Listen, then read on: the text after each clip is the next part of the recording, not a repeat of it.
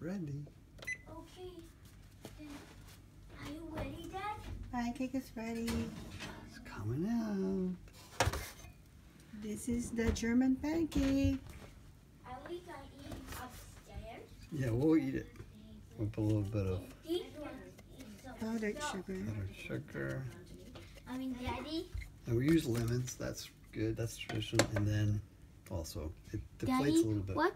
What? What's So- that? It's a German pancake. We also call Dutch baby.